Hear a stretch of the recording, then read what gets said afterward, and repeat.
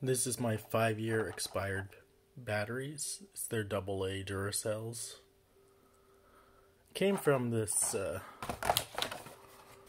wireless touchpad, which I never used. And so I finally opened it up and I noticed uh, it was this one had really kicked the bucket. But this one looks like it might be in halfway decent condition.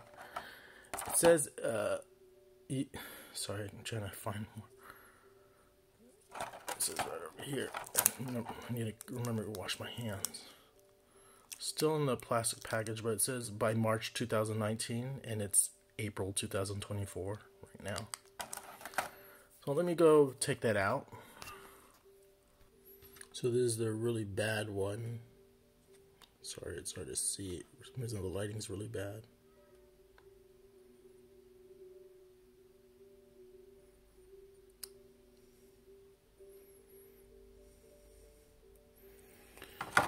I'm not gonna check that voltage on that. It's probably totally toast. But this one, this one has this one has stuff on it from this battery. This one looks okay. So let's see if this battery is still usable. I have my Nintendo Wii out right now. I'm gonna see if first test is I'm just gonna put it into my Wii remote and see if I can use it. I know it's not a super great test, but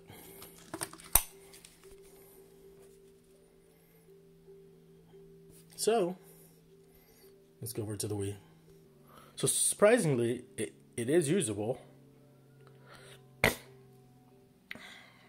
So you can see here, I'm moving it around. I'm going to press the home button, and it's if it was dead, then we wouldn't see. Well, this thing wouldn't turn on, and and if it was really drained, we'd see that it goes down. So surprisingly, this five year old five year old expired battery is working. So now let's just check the voltage. I, I wish I'd used a, a new battery for the other one to have a comparison. So I guess the battery is kind of new. We'll see. So I'm going to test uh, the voltage on the supposedly.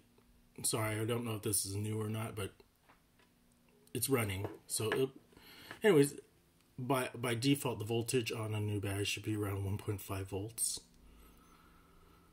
A double A, I believe. That's what it says usually on batteries.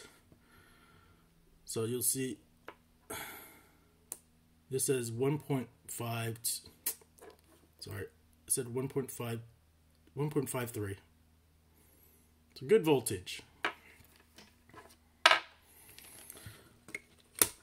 Let's try this expired battery. Again this is from 2019 ah, ah, ah, ah. this is from 2019 and I'm going to measure it right over here right now.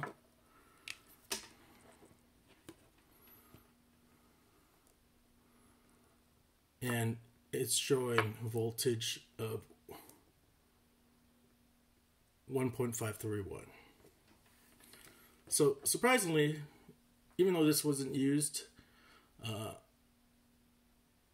it appears to be usable. Now, the other one that I had, the one that was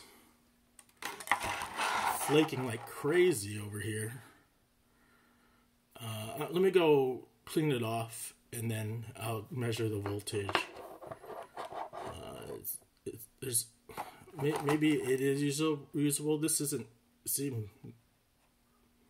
I don't know what it is. Maybe it's just salt, but it doesn't seem like a, a bad battery leak. So Okay, I was really wrong.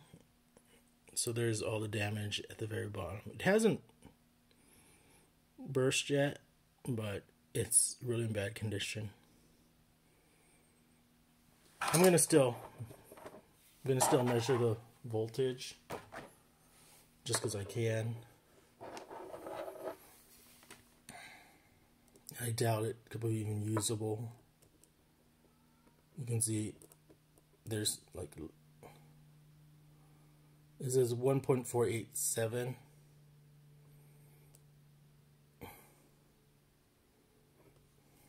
it's fluctuating.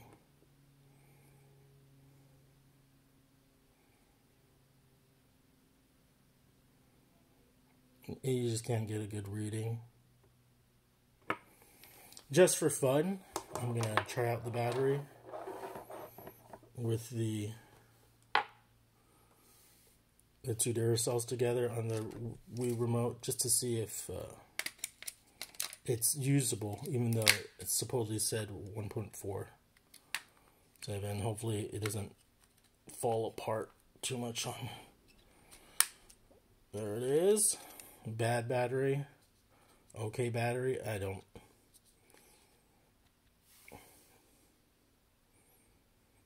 And uh, turned on. So I don't suggest doing this because uh, I think the battery could leak even more. It hasn't leaked, but it's slowly like letting out stuff. So um, it's definitely not super safe, and it could eventually let out stuff. It could just, you know, open up a lot more. So this is just for testing purposes. Uh, the Wii remote is able to is usable, and so this does have this side over here. The bad battery is usable, even though it looks horrible.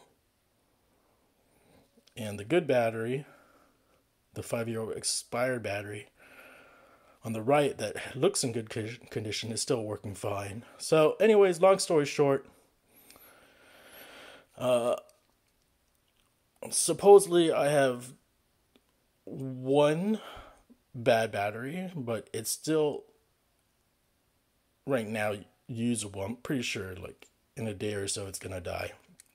On the right side, I have a visual looking good battery but I don't, again, I don't know how long it'll last. It might corrode like this other battery. It's just something I wanted to try out. We'll see. I might leave this one, I might still use this one in the touchpad. What do you call it? Touchpad uh, mouse that originally came with. So this is my short story. I wish I had a, a a real battery tester, which I don't have, but you saw the voltages. This one was like 1.531, and this one was like 1.47 or something, which was surprising. This one being so high, but again, it's never been used. And I'm on here on the screen, just moving the mouse, and there's no. It, it, it's I'm not the mouse, the Wii remote, and it's working okay. So this is my really boring video. I just thought it'd be interesting to try out these batteries. And again, I'm not going to use this anymore. I'm going to put it away and, you know, go to e-waste disposal. But this one, um, I'm willing to give it a try. And it's interesting that uh, one of the batteries work.